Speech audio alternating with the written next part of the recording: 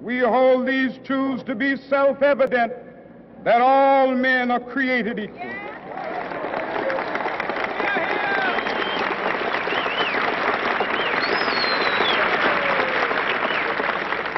I have a dream that one day on the red hills of Georgia, the sons of former slaves and the sons of former slave owners will be, be able to sit down together at the table of brotherhood. I have a dream that one day,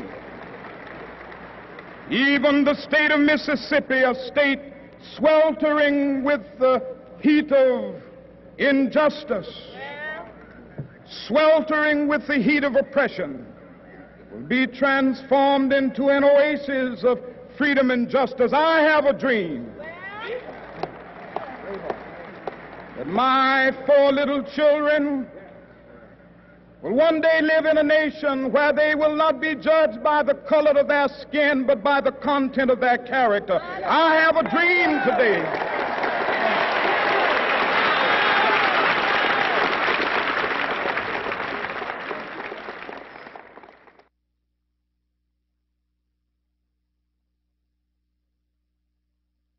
by the name of Michael King was born in Atlanta, Georgia. Michael later became, after some schooling, uh, became the pastor of Dexter Avenue Baptist Church and later was made the president of the Southern Christian Leadership Conference. Michael King then in 1963 delivered a speech that you just heard in front of a crowd of 250,000 people on the steps of the Lincoln Memorial. A speech, by the way, as a good Baptist preacher, he was slated four minutes to speak and he drew that out to 16 minutes. Um, but you say, I, thought his name was Martin Luther King. Well, it, it was later. He was born as and named originally as Michael King. Uh, his dad was also a pastor of Ebenezer Baptist Church and had gone over to Germany from schooling for some schooling later on in life and, and was so impressed by the, the reformer Martin Luther and his desire to go back to what does the scripture say on truth and living out that truth that he came back and renamed his son, Michael King, at the age of five to become Martin Luther King Jr.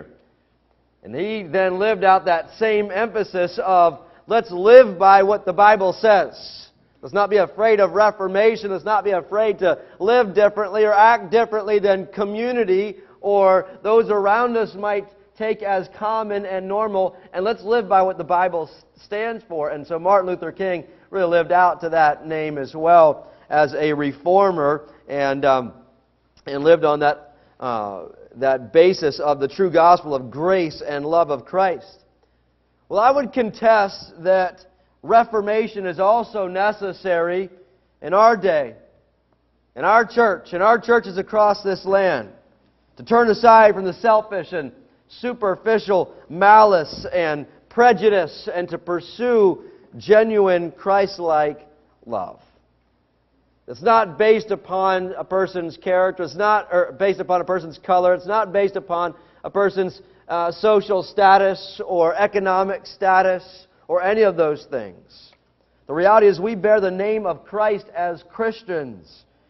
And it is the manifestation of godliness that even though we were unworthy and unlovely, and that while we are yet sinners, Christ died for us unhindered love, unhindered by prejudice, unhindered by uh, uh, uh, the, the, the filthiness of us.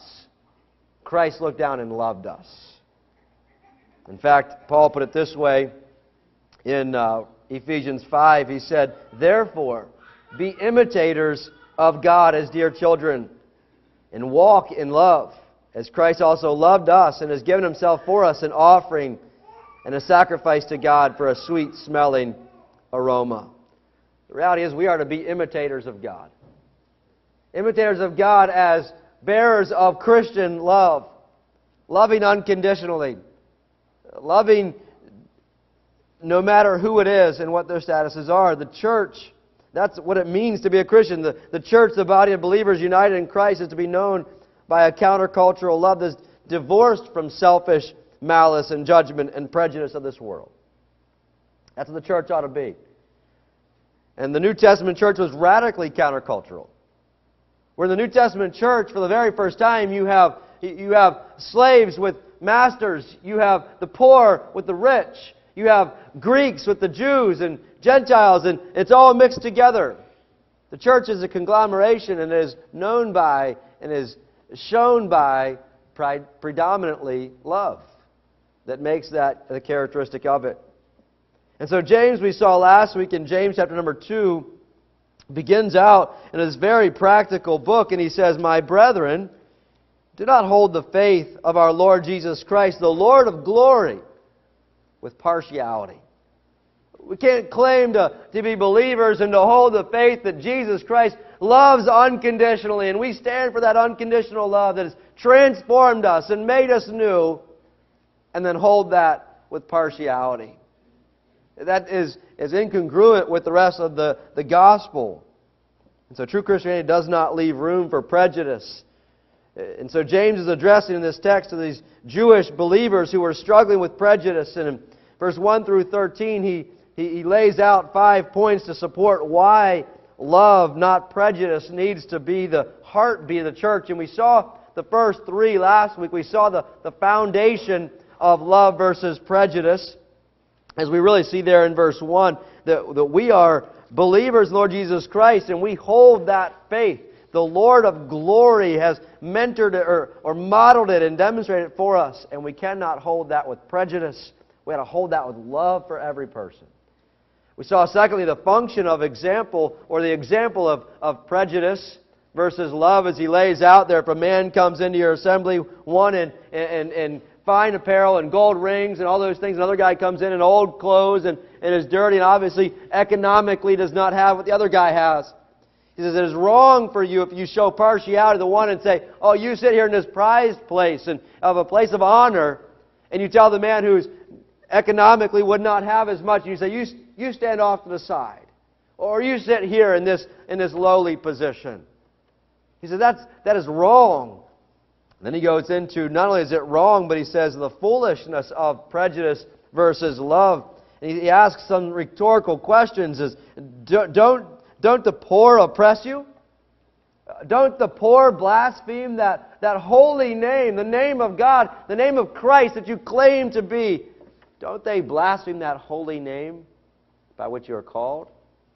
He said, it is not is it unethical and, and, and wrong. It is immoral and sinful to be prejudiced towards people based upon superficial means and to judge them on those bases. That's what the word partial has the idea of. To raise up the face of someone in order to make a judgment call upon their character. Or to determine their value, really, is what that means. To determine someone's value and worth based upon superficial means.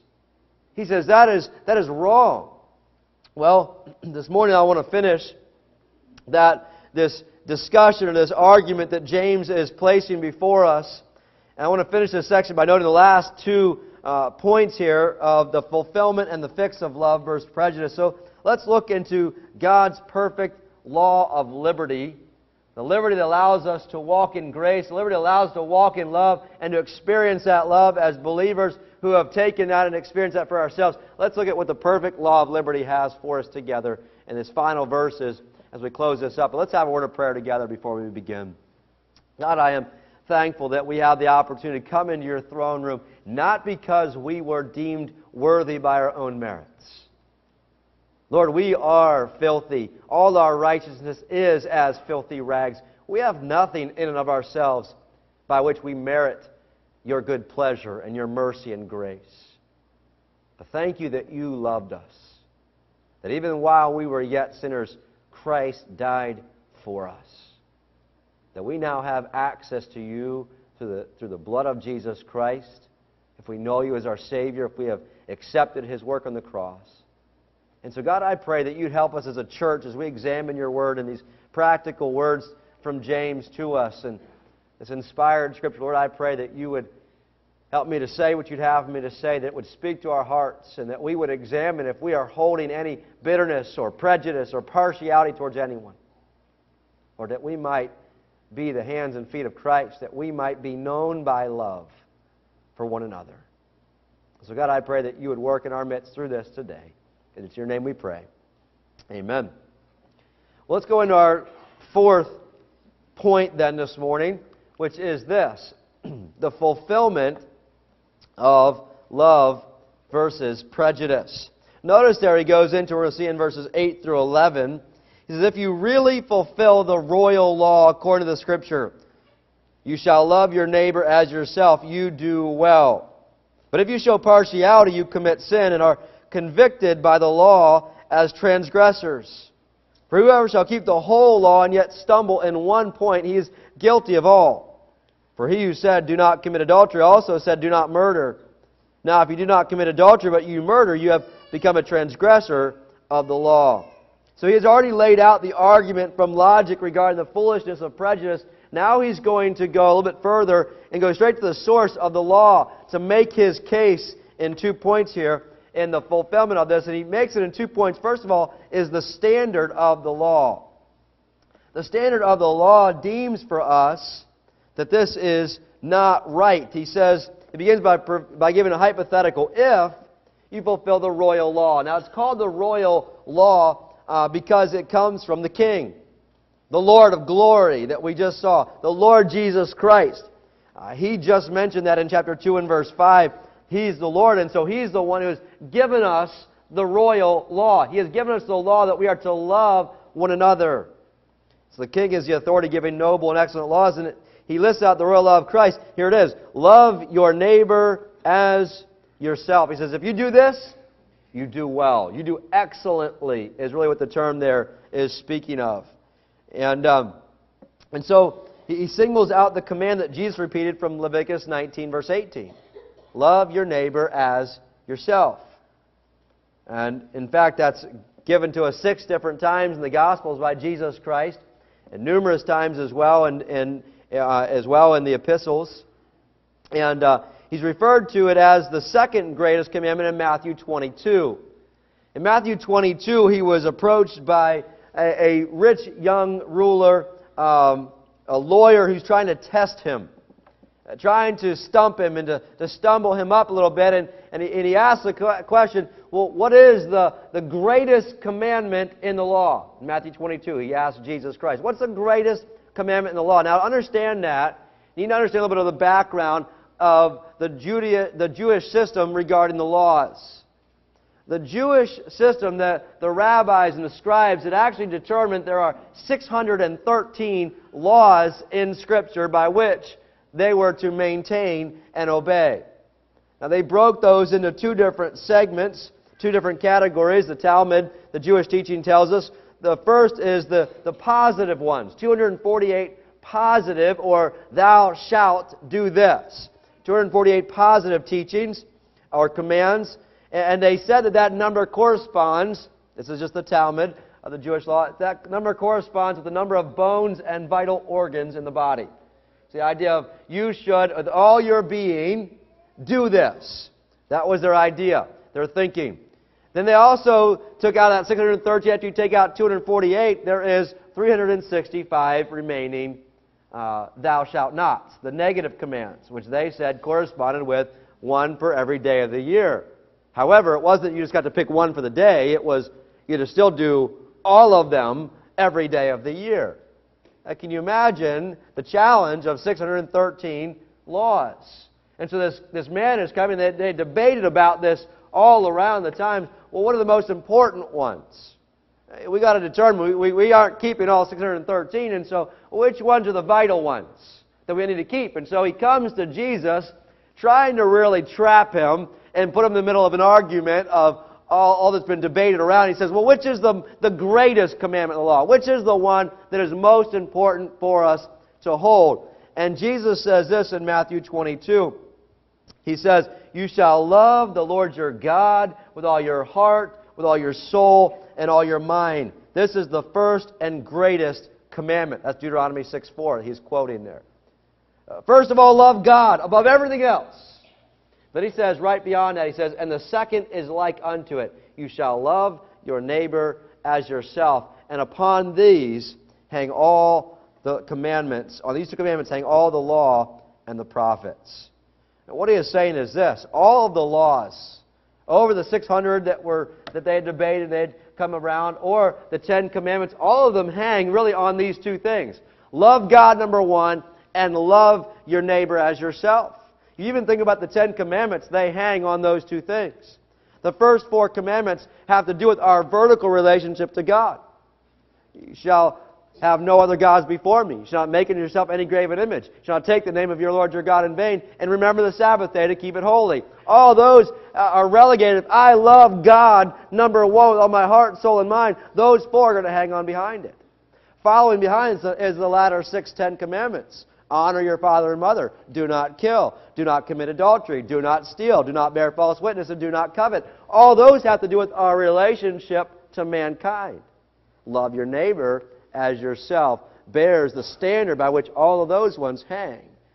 And so what he's saying is, this is the primary commands.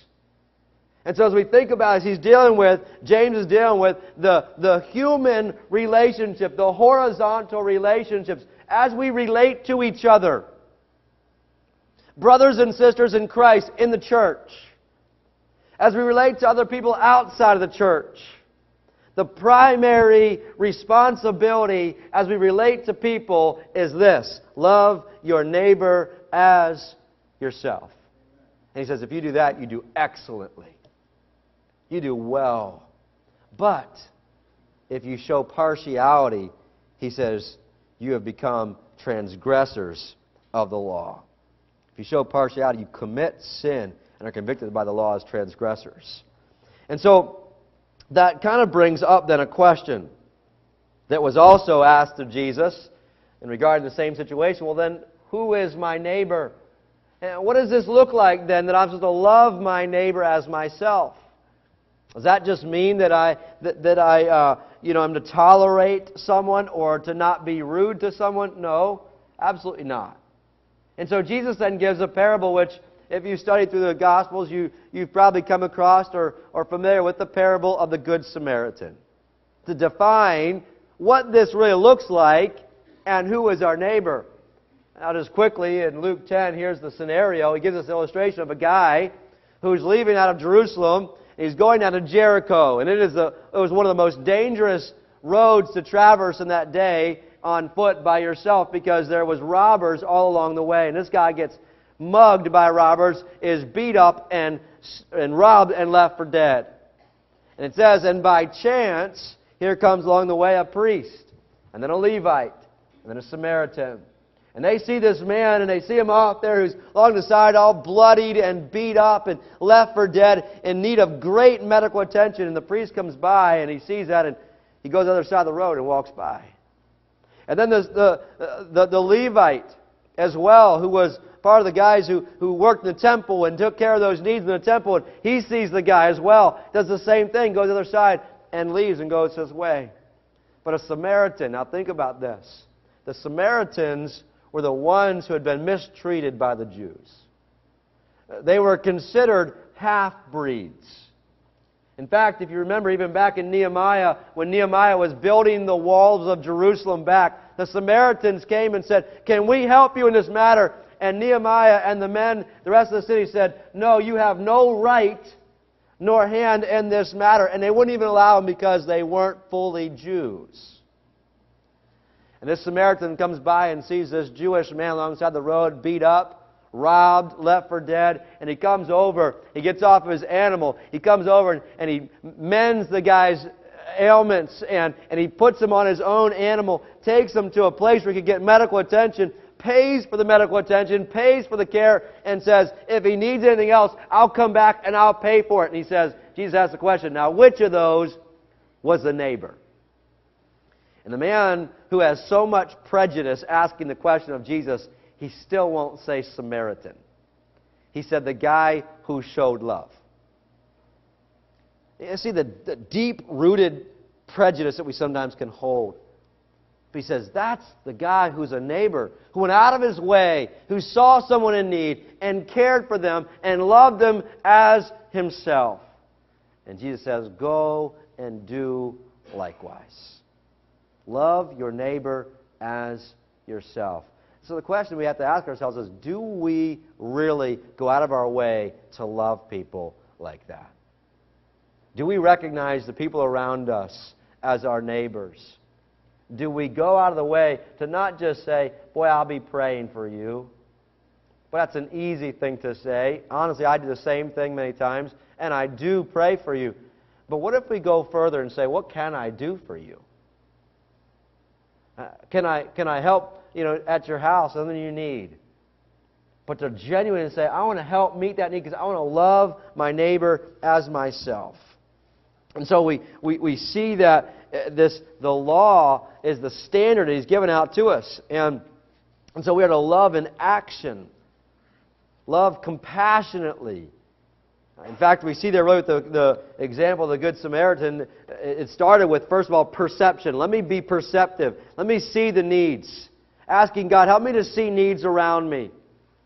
You know, I doubt any of those guys woke up that morning thinking, oh, I'm going to find a guy left for dead alongside the road but being perceptive when God brings people in your life, being perceptive to say, here, here's somebody that I can minister to, here's somebody that I can show love to, and it starts with perception, but then it moves from perception to compassion or emotion, where the guy was moved with compassion, it says there, and he showed him mercy, and then it moves into action. Perception, compassion, action. Where it says, now I'm going to do something about it. I will meet that need. When was the last time you put your arms around someone who was poor and put some money in their hand? Or uh, someone that was, so, some, that last time you came around someone who's of a different color or culture and put your arm around them and called them your brother?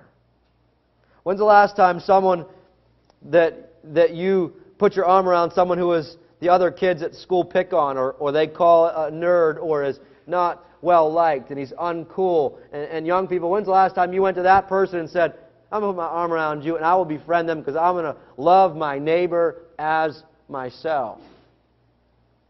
Boy, you have no idea the impact that that makes on someone. Uh, when they've been told many times, I am less than anyone else, and the people come around them and love them, it makes such a difference. And so we see there the standard of the law that pains for us, but then secondly, the singularity of the law.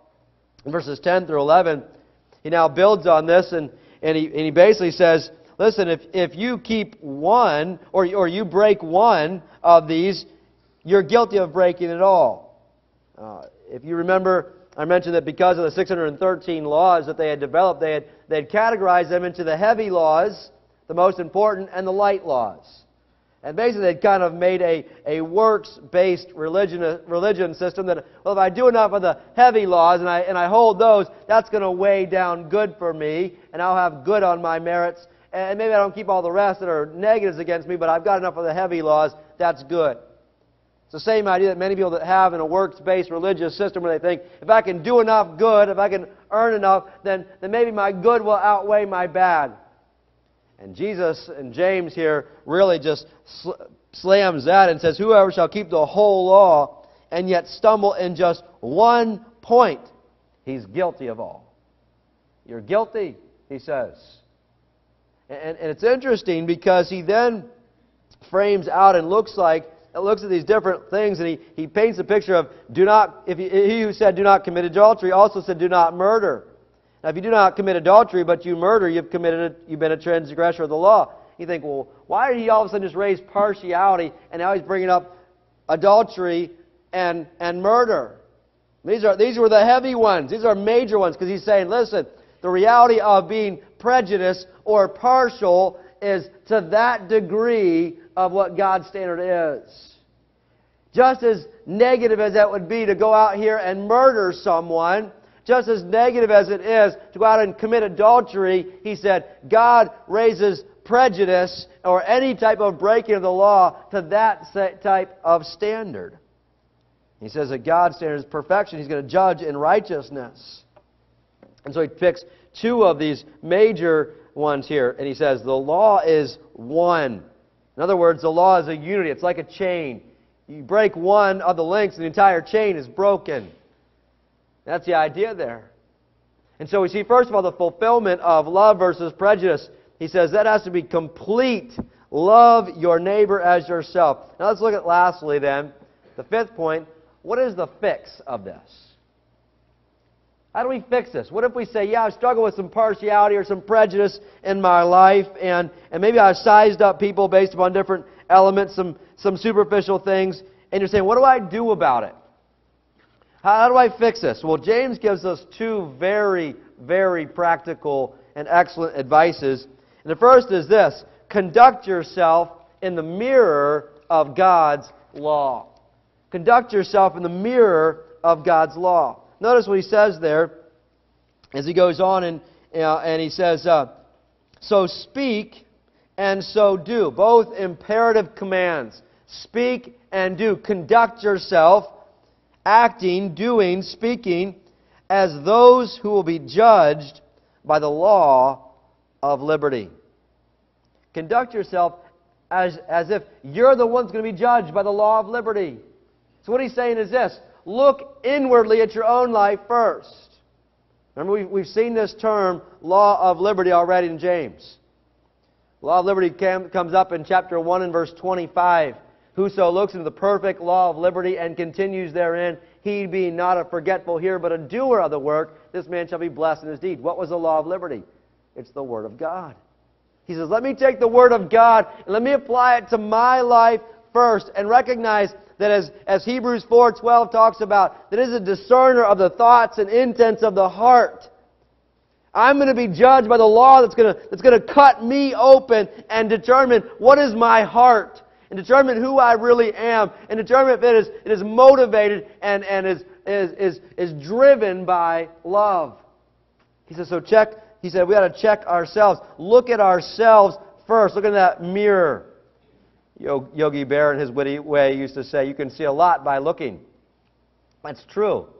You can see a lot by looking. When we begin to take the Word of God and look into it and say, Well, let me look at it as it applies to me first.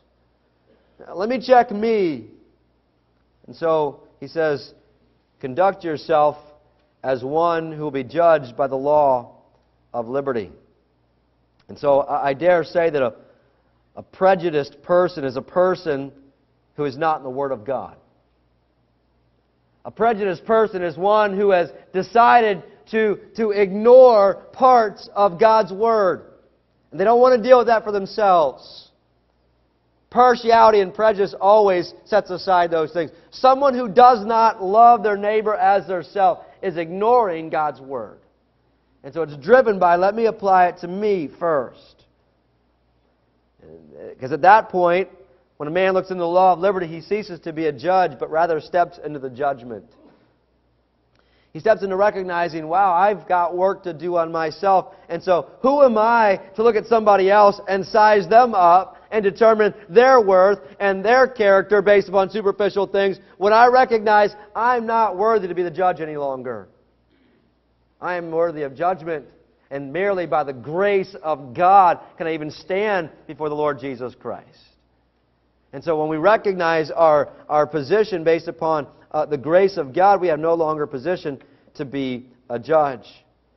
And that's why Jesus even said in John 8, 31 to 32, to the Jews who believed, that's who he's talking to here, if you abide in my word, you're my disciples indeed, and you shall know the truth, and the truth will make you free. It's the law of liberty. So we begin to check ourselves on that. So conduct yourself in the mirror of God's law, but then, secondly, conduct yourself in the mercy of God's love. For judgment is without mercy to the one who has shown no mercy, and mercy triumphs over judgment. And so we see now, after we look in the law of liberty and see our sinfulness, the, the one truth that is so overwhelmingly comforting is that God is rich in mercy. He says, so if you're so willing to accept God's mercy, God's love and compassion to overlook your sins and overlook your shortcomings and love you in spite of that, he says that ought to be the motivator. Conduct yourself in the mercy of God's love and live that out in your life. Paul says it this way in Ephesians 2, in, in light of our once being dead in sins, he says, But God, who is rich in mercy, Because of his great love with which he loved us, even when we were dead in trespasses, he made us alive together with Christ. By grace you have been saved. Mercy is a word that signifies to feel sympathy for, to, to, with, to feel the misery that someone else has been feeling, to come alongside and partner up with. And it's a misery, it's, it's a compassion that is moved to action. That is a, boy, I love them and I care for them and I want to do something about it. And so we, we got to get inside their skin and to feel what they've gone through. And so the practical synonym would be love. The practical synonym to mercy, to conduct ourselves in the mercy of God's love, is to be imitators of God and give love. That's exactly what James is saying here to this church. The Jews who were spread around. And it's interesting because Jesus said in Matthew 5 7, Blessed are the merciful, for they shall obtain what? Mercy. It's the one beatitude that when we give it out, we return it back. It's the only one. And, and that's what James is saying. For judgment is without mercy, the one who has shown no mercy. If you don't show mercy, he says, God's going to be judgmental upon you within the same regards.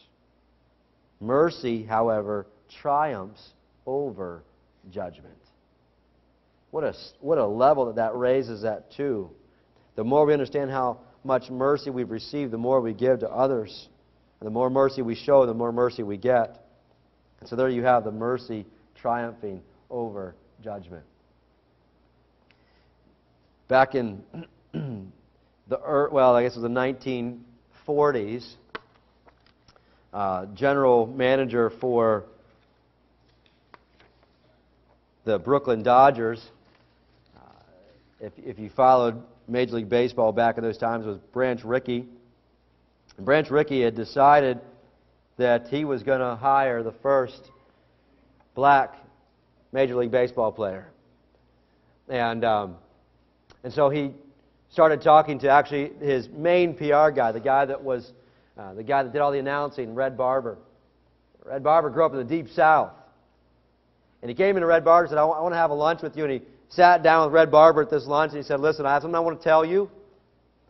He said, It's something that uh, I told my family. They all think I'm crazy. They are against it. But I'm going to do it anyways. I'm going to hire an African American to play on our baseball team.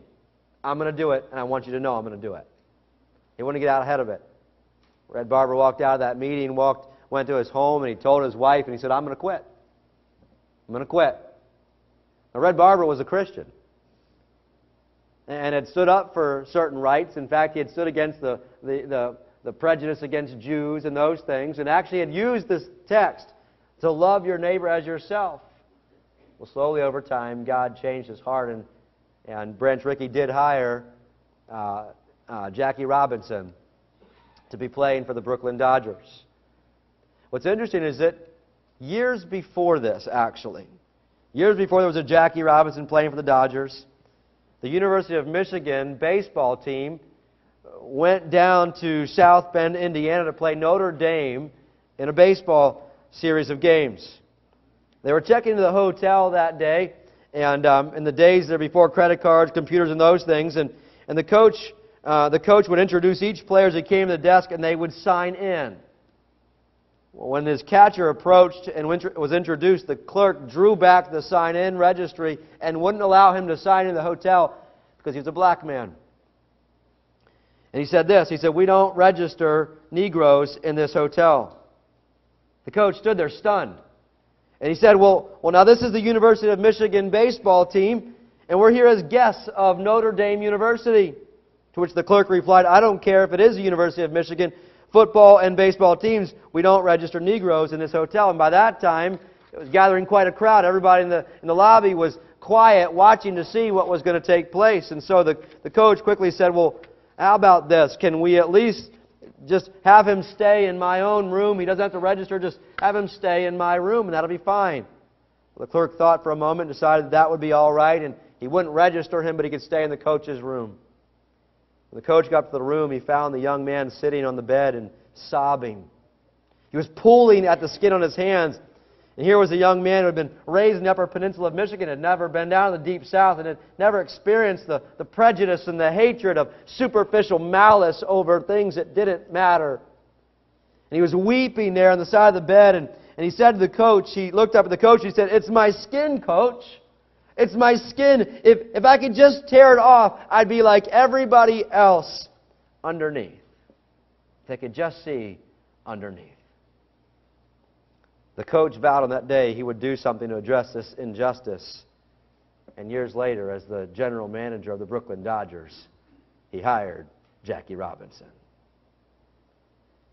You know, we may not take it to that extreme. We have that kind of prejudice. But we need a love like that. We need a, we need a love like Branch Rickey, who says, I could care less what the superficial matters of someone around me are. Because I understand underneath, they're a human being that God loves. He did not make a mistake with. And I will love them as God loves. Therefore, be imitators of God as dear children and love as He loves. That's the command. That's what James is pushing for us. Are we, are we guilty sometimes of prejudice? As you look at your life, is there times where it's been easy for you to have prejudice towards someone. Well, I'd challenge you.